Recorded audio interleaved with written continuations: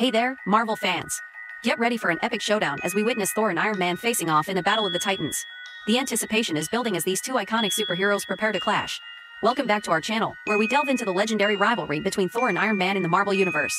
These two powerhouse characters have always had a complex relationship, and today, we're diving into one of their most intense battles yet.